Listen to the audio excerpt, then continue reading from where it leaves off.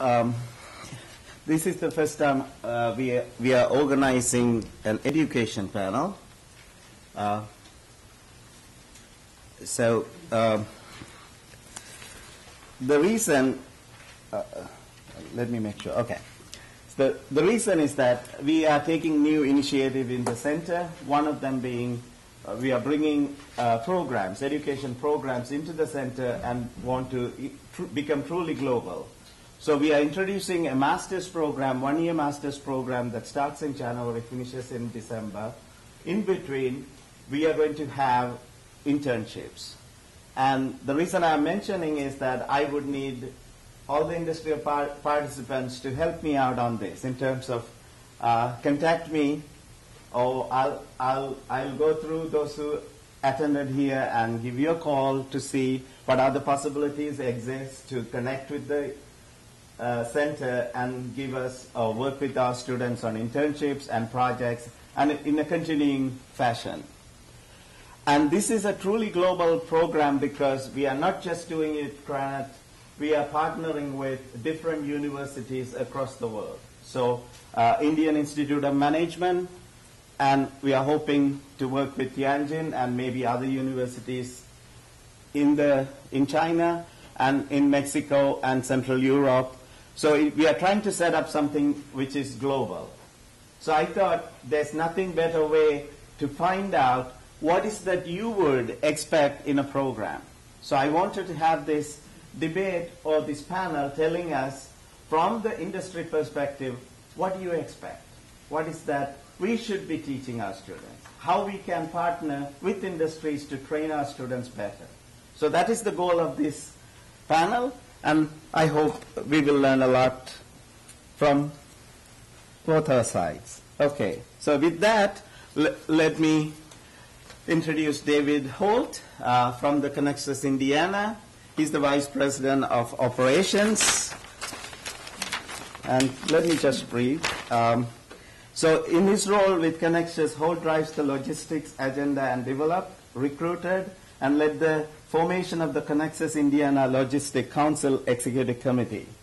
So with that, let me welcome David.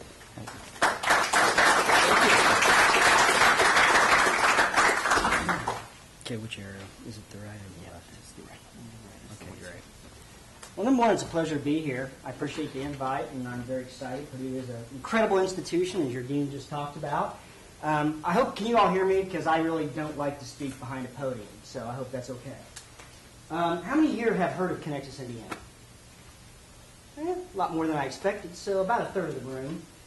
Um, what can, there, there's three kinds of entities in the not-for-profit world. There's chambers of commerce and labor unions. What they do is they lobby their governments to try to make things better for themselves or to maintain policies that are currently in place.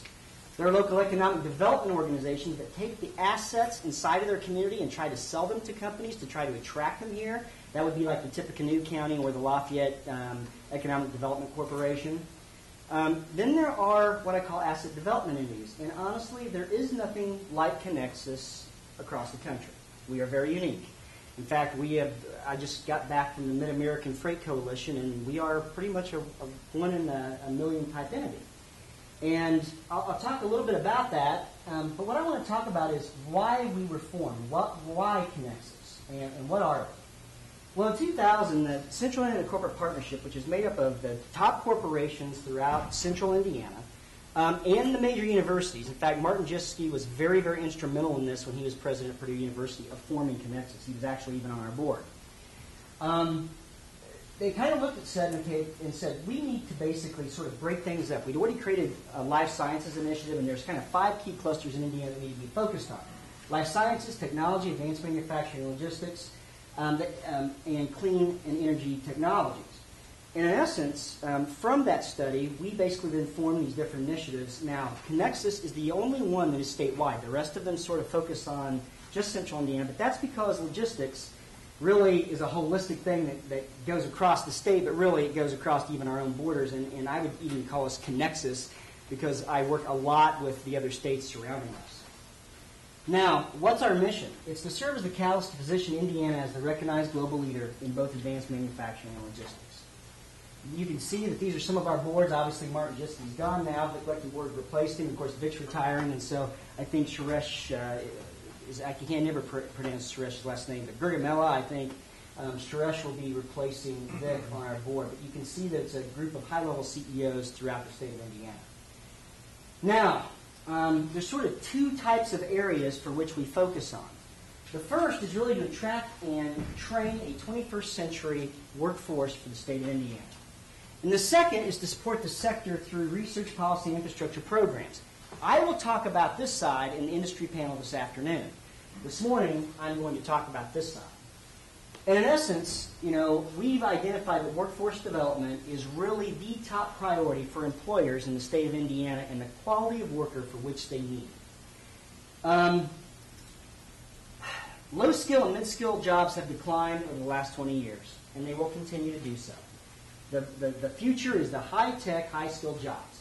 I'll give you an example. David Holt, in order to pay his way through Ball State University when I got my undergrad, I worked at Donnelley's just south of here. I'm from Crawfordsville, Indiana, just south of here. I sat at the end of a line on a book press. And the pages came off, and I took the pages and I pressed them together, and I hit a button, and it wrapped the pages. And I picked up the big bundle, and I stuck it onto a pallet, and then a forklift came and got it and took it over to the binding press, and they made all the books for Purdue University School. Um, for all your professors, obviously. So, the main thing I'm trying to get about that, though, is that job that David Holt did didn't take any skills. That job's gone now. Because what now is they have an electronic arm that's operated by a computer. But that job was replaced. It was rep- replaced by a computer technician that has to have at least a certification of some sort or at least a two-year associate's degree. So how do we get to that point where Indiana understands that and we try to change our culture here in our state? Every year in Indiana, uh, the Conexus does a report card. Um, we commission economists to do the report card study for us. Um, you can see that Indiana, um, on human capital, we have a C, um, a D minus um, for Kentucky. So, I mean, honestly, this is not just an Indiana problem. It is a problem that's really nationwide. And, and, I'm not sure how much better it's going to get. Now, I do have to say that because of our location, because of the kind of companies here, we do extremely well with logistics. We do extremely well with uh, manufacturing industry and the health industry. Um, our benefit costs um, are kind of low, and that's because they passed some legislation a couple years ago that kind of knocked us down.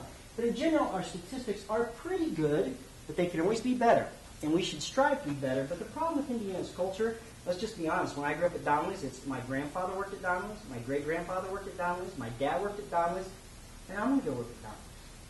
But in essence, that's not so true anymore because you can't just go work at those jobs because they need a high level of skill. So, how do we confront these challenges? Um, workforce readiness is the major threat for industry, not just in this state, but nationwide.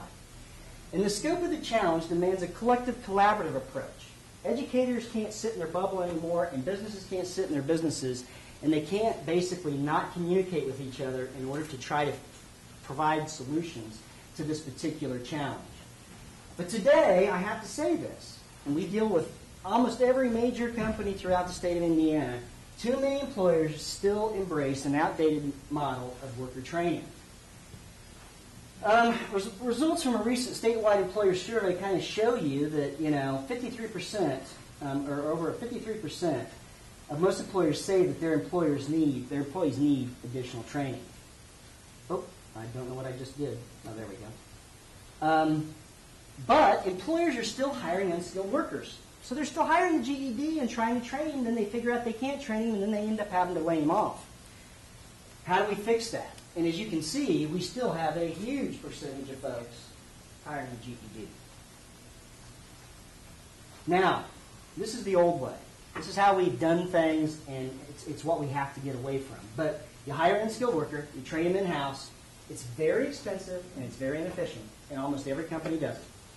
Industries disengage from educational institutions. Now, that's getting a little better, but we need to get them connected in a better way. That's what Conexus is trying to do. As skill demands arise, so do training costs, which puts us at a competitive disadvantage. In perspective, advanced manufacturing employees have no consistent path to employment. So what's the new way? We need to connect industry and academia. I talked about that just a minute ago.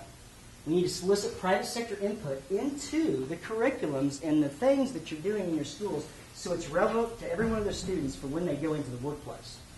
And I'm not going to lie, I mean, in, in, the past days, and I, I don't think it's like that, I think it's changing, but in the past days, professor went to elementary school, they went to secondary school, they went to high school, they went to get their master's, they went and got their PhD, and then they went back to school again, and a lot of them never, ever worked in the private sector, and they have no clue what the private sector really needs besides what they read in their books. Now, I think that's changing. I know Purdue's got LTAP and some other incredible programs where they're connecting with business. I know Purdue is really moving in that direction. I know Notre Dame is. Indiana schools in general, I think, are doing a pretty good job in that particular arena. And how do we market these programs aggressively to prospective employees? The other is to build a robust pipeline of qualified applicants. And that's what we're going to try to do, and how do we do it? Well, Conexus views ourselves sort of as the voice of industry in this particular arena. We're working right now, we're creating a high school program and we have a new name for it. I can't remember what it is. I'm sorry. They just marketed it two days ago, so I haven't got it in my brain yet. But basically, it's to take the current curriculum that's in place in our high school and it's to ingrain um, advanced manufacturing and logistics curriculum into the high school Core 40 technical programs. And also to try to get it into the regular Core 40 program as well. So they have a history of manufacturing. They know what manufacturing is. They know what logistics is. They know what it does. They know what Six Sigma is, or at least what it's trying to accomplish. They don't need to have a mastery in it yet, but they have to have the concepts about all of these things that make business run and why it should run that way. Community college partnerships. The other thing we did was we identified when we were doing our strategic planning every single skill that was needed from a kid through high school all the way through his cert- certification, the skills that a, a, a kid would need when he got an associate's degree, and at that point in time, we created this skills template, and then we've been working with the community colleges in specific to basically then drive new programs. In fact, Harrison College took our skills template. They basically designed a program just for the logistics industry, and now they're offering it at their flagship store, or their flagship store, their flagship school in Indianapolis. And they're trying to expand that and try to get more people from the logistics industry to go into this particular um, operation. Marketing, how do we get to kids? How do we get them to understand what that is? And I'll talk about that in a national campaign on a portable credential so you know that when you've taken this Conexus credential, if you move to Texas, that Texas employer knows that these are the skills he has. If you move to California, they know that these are the skills that they need to have. We're actually working with the National Association of Manufacturers Foundation to try to implement that in, a, in, in two organizations called MSSC and APICS, which are both sort of national training programs for both manufacturing and logistics. So, how do we attract and train the 21st century workforce? Well, once again, we have currently 89 high school champions. That are high schools that have said, we will implement your program. We've gotten sign off by the, second, the superintendent of public instruction in Indiana to offer this inside of all the schools. We've got 40 superintendents on board, so you can see that some superintendents are, you know, manage a couple of those schools. We've got pretty much every technical education center, I think, except for one on board. Um, I talked about the skills map. We also have a program called Dream It, Do It, and that was in conjunction with the National Association of Manufacturers. And it's a website where kids can go. It's extremely interactive. It's even got this cool program where you go on, and you all ought to go on it and try to get on it, where you play a game that teaches you how you move a iPod, how it's manufactured, how it's created. They have to put numbers in there, and at the end of the program, it gives you a grade on how well you did on getting that to market and whether you could sell it or not. That gets kids interested, and our hope is it gets them into these professions. Then we're trying to hit them with social media awareness campaigns to try to drive them right into those kids, to, to get the kids to understand that. So we're using Facebook and LinkedIn and all these different mediums, Twitter, to try to get kids engaged, to drive them to the Dream It Do It, and to drive them into these particular professions. Now, in essence, this is the skills template. This is what we felt they needed to know in high school. And by the way, we convened um, it had a Six Sigma approach. Uh, Brightpoint actually did our program for the logistics industry, um, and Cummins Engine had Six Sigma folks come in and do our manufacturing. And in, in, in, in essence, these are the skills that you need to have when you graduate from high school. These are the skills that you need to have in order to get some sort of certification. And this is what you should have if you ever get an associate's degree in the state of Indiana.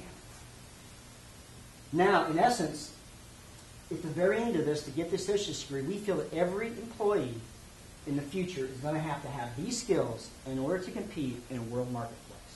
And it's our job to try to drive them into there and try to get that. But it's also your job as both educators and as the private sector to make sure that you're hiring these folks and that you're not doing the old approach. Now, in essence, pathways were the first um, tier of the career pathways. We also created career pathway that basically said this is how this is the stuff you need to do in high school. This is the stuff you need to do for a certification, and it was approved by the state um, board of education. And Conexus was also instrumental in designing that skills template that we talked about a little bit earlier. These are the schools that are currently involved. Um, now, there is not a total of 64 here because I forgot two or three of them. My assistant actually forgot to put them in. But not a big problem. It's my fault because I didn't check it. But in essence, here are a lot of the high schools that are involved. If you know of high schools that are not on here that you think should be involved, if you know the folks that are at that high school, have them contact us and we will get them on board. This is the Dream to Do It website that I talked about earlier, um, but y'all might want to go check this out and try to get as many kids as you know interested in these particular careers. So, in essence, um, um, we're also doing a program with the Manufacturing Institute to design to see what is the perfect credential. and that would be, you know, before you get an associate's degree, what is that perfect credential? Working with the Gates Foundation, the Illumina Foundation to try to drive that particular industry, working with industry. And then eventually, we'll have this portable credential that industry will know that if you have this, I can hire this guy and I know he's got X, Y, and Z skills. So in essence, we did all these things. Um, the curriculum is being designed right now. It's going to be also offered electronically to where you can basically drive a lot of this stuff through new technologies. And in essence, I will talk about all of this stuff this afternoon. This is the other things that Conexus does. But in essence, I also run the Logistics Council, which basically does strategic planning and asset mapping of the things that we need to have in the future for the logistics industry. So, I won't have any questions now because I know you'll have it during the industry panel, but I want to thank you for having us, and there's a few more manufacturing or workforce facts. But in general, uh, this is a very, very important issue to us, and we hope that uh, you got some information out of this today, and I hope I didn't talk too fast because I know I did. All right, thank you.